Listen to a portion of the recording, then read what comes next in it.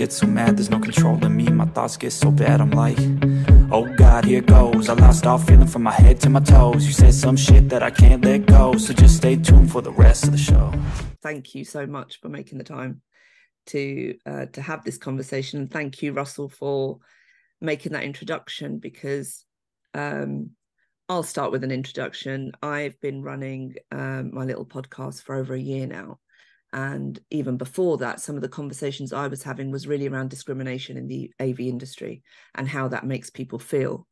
And um, although I'm a member of the Women's Council, amongst other things, uh, for AVIXA, our um, industry association, I've always made it really clear that I don't just represent women or speak up for women. There's discrimination comes in all sorts of shapes and sizes and forms, and um, we can't negate um, other things that people are struggling with. And mental health seems to be one of those things that actually transcends all of those areas of discrimination. There isn't one person that I've spoken to who's told me a story about discrimination where it hasn't impacted their mental health. So it's a natural, this is a natural conversation for me to to share with with our AV community. So I'm really pleased to have you on board and I hope this will be the start of something uh, for our industry. Fingers crossed. Um, but can I get you to introduce yourselves? Um, Dan, do you want to start? Yeah, absolutely. Um, first of all, thanks for the invite. Really appreciate um, you inviting us um, on. So I'm Dan Rowe. Um, I'm not going to say my job title because it's terrible, um, but effectively I'm uh, what you'd class as kind of a regional manager for Andy's Man Club. Uh, in effect, what that means is I look after uh, currently 27 Andy's Man clubs across the Northwest, Midlands, and Wales. Um, and then I suppose you can you can split my role into kind of three parts really. And one is looking after the existing um, existing clubs. So across those 27 clubs we probably have about 300 volunteers give or take and, and see about maybe a thousand guys turning up a week across those um, so just kind of managing them making sure that they're okay and supported and um, and dealing with any issues that might arise out of out of the clubs themselves uh, second part of my role would be focusing on new clubs um, so where where are we going to take people from? So where are we going to take our volunteers from? Where are we going to open strategically? Um, where we, how do we find our venues? Um, and then everything from from that conversation to how do we then market uh, market those new clubs? Who do we need to get in touch with in the in the local kind of population? So everything from I suppose concept to delivery really in terms of uh, in terms of that. He's a project manager speak. Um, and then the last part um, is is kind of the commercial side of our role. So obviously we're a, we are a charity. Um, we're a donate fully donation led charity, um, and our, our, charity is really focused on um, raising awareness uh, that we exist. I think our our biggest challenge, and I'm sure we'll get into this, is around the fact that most people don't know that we actually around and, and exist. And um, there's some challenges around that. So a big part of what we do is uh, podcasts. We do awareness talks um, within organisations. We work commercially with organisations as well, um, to to really kind of get the um, get our name out there so that everybody knows that that we're there to support the men within the community, no matter where they are in the UK. Um, so that that's a, a kind of a, a, big part of the the the role as uh, as well. So, uh, so my name is Russell Harpham, and I've um, I've been in the AV industry, I guess, for what 16, 17 years, maybe 18 years, um, for various different manufacturers through that time. Um, generally representing the manufacturer and supporting their business in uh, Europe, Middle East, and Africa. So people like Yamaha and Bose, and currently uh, Sound Control. Um, so, uh, but obviously, I've engaged with you uh, a number of times uh, through various different brands. So, uh, uh, and I obviously other uh, brands are available. Is my caveat. no, well, uh, only, the, only, only, only the brands that I represent clearly. So um, the uh, but and obviously my connection here is I you know I engaged with uh, Andy's Man Club and, the, and specifically the one that Dan um, ran uh, in Altrincham, and um, and hence that's how our uh, how my knowledge of this uh, of this uh, group has uh, has grown. Andy's Man Club is much more than what we're listed as as part of the charity commission. So we're we're classed as a men's mental health and suicide prevention charity. And and the reality, and and I'm sure um, Russell will be able to to kind of back me up on on on this is we're so much more than just that. Um, the idea I think about Andy's Man Club, why it works so well, why and why it's really sustainable is is the fact that we create communities. We create we create communities within communities, and all you need to do is look off the the, the back of what happens on a Monday. We're really simple. We're we're a place guys can go and talk between seven and nine on a Monday on a Monday night every week, and what comes off the back of that is friendship, is going to the cinema together, going to gigs together, going to football together, doing whatever people want to do, whether that's go out for food, go out for meals, go to a pub quiz, what, whatever that kind of might be, is you're actually creating really long lasting friendships. Um, and they're very different to normal male friendships because they're friendships based on vulnerability. And, and that's just not something that you see within society. And that's there's a huge honesty around that, isn't there?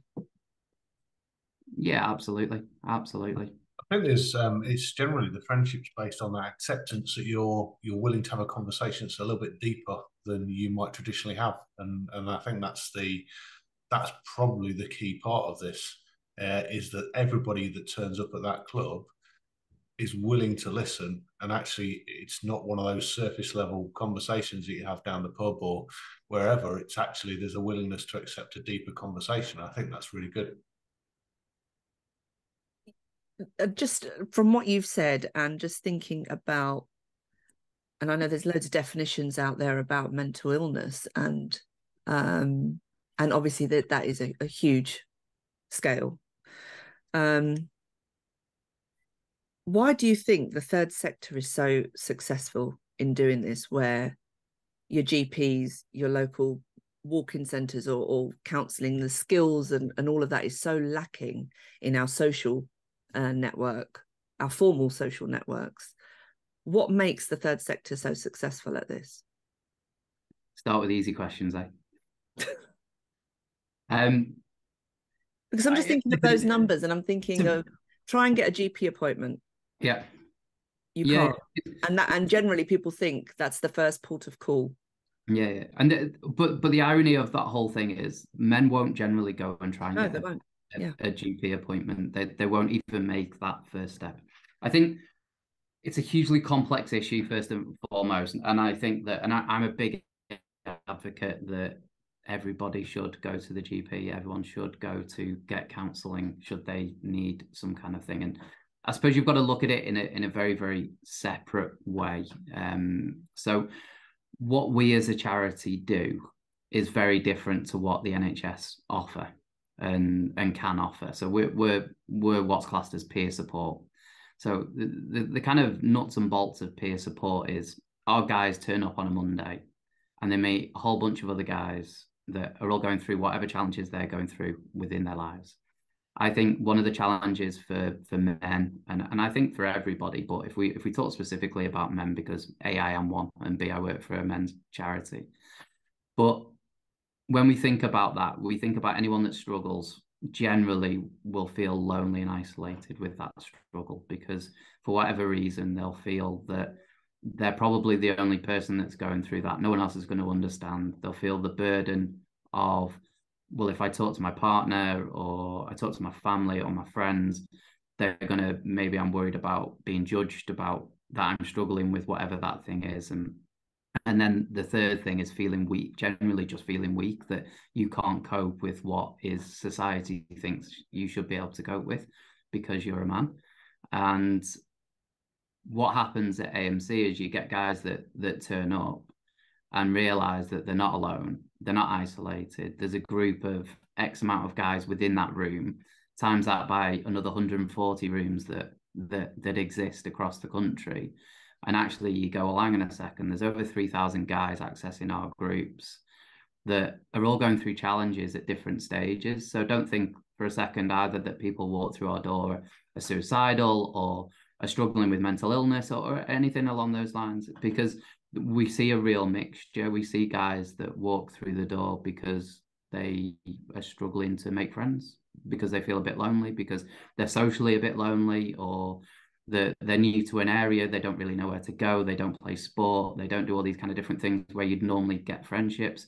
You look at the way that um, people, a lot more people are working from home now. And listen, I'm a big advocate for for working from home, and and I do work from home um, as well as working in an office as as as well. But if you're new to an area, you don't play sport, you work from home, so you don't have that social interaction from a work perspective. Where do you go and make friends? Where where do you where do you meet those people that you can go to the pub with or go to the cinema with, and all these kind of different things? So I think there's loads of challenges, and throw that into somebody that's not feeling particularly well within their own mental health, and that's an additional blocker, and that's an a, additional um, issue. So I think where Andy's Man Club do do well, and, and and a lot of the third sector do, is they're actually picking up areas in which a the NHS don't offer um, to an extent. We're, we're starting to see more and more that through social prescribing, which is it which is important, but it's a completely different kind of service offering, and it just means that we can offer something that's much more consistent than than what the NHS can offer, but it's very very different as as as well. You're not going to make friends by going to your GP, but the chances are when you go to when you go to Andy's Man Club, you will make friends. And a big part of, I think, what uh, people's struggles are is that loneliness and isolation with their issues. The other issue that we have in the industry is a recruitment issue and um, getting the right people into the right roles and and so on. And a number of people have told me that um, if they've been off with mental health issues or they've needed time out,